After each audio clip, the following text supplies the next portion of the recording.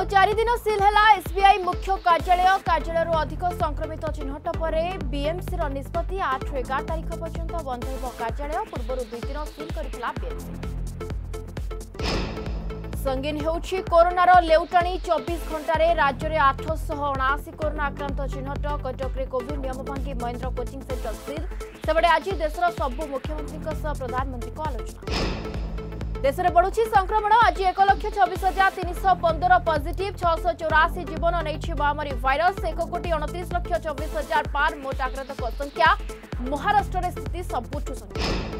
পুনে আন্ধ্রর মনমানি কোটিয়ারে আন্ধ্র পঞ্চায়েত এবং জেলা পরিষদ নির্বাচন শহে চৌরাশি ধারা উল্লঙ্ঘন করে ভোট দেওয়া যাচ্ছেন লোকে সেপটে কোটিয়া প্রসঙ্গ নিয়ে পুঁ সুপ্রিমকোর্ট গলে রাজ্য সরকার ପୋଖରୀରୁ ମହିଳାଙ୍କ ଗଳିତ ଶବ ଉଦ୍ଧାର ଯାଜପୁର ସଦର ଥାନା କପିଳେଶ୍ୱର ଗାଁରେ ପଡ଼ି ରହିଥିଲା ମୃତଦେହ ହତ୍ୟା କରି କିଏ ଦୁର୍ବୃତ୍ତ ଫିଙ୍ଗି ଦେଇଥିବା ସନ୍ଦେହ ଘଟଣାସ୍ଥଳରେ ସଦର ପୁଲିସର ଛାଡ଼ି ବ୍ରହ୍ମପୁର ଗୁରୁଣ୍ଠି ଶ୍ରୀରଙ୍ଗରାଜପୁର ଗାଁରେ ବୋମାମାଡ଼ ପୂର୍ବ ଶତ୍ରୁତାରୁ ପି ତ୍ରିଲୋଚନ ପାତ୍ରଙ୍କ ଘର ଉପରକୁ ବୋମା ଫିଙ୍ଗିଲେ ଦୁର୍ବୃତ୍ତ ସଦର ଥାନାରେ ଏତଲା ପୋଲିସର ତଦନ୍ତ ଆରମ୍ଭ দ্বিতীয় ডোজ করোনা টিকা নেলে প্রধানমন্ত্রী মোদি দিল্লি এমসরে মোদিকে দিয়াগলা ভ্যাকসিন মার্চ একরে নেইলে প্রথম ডোজ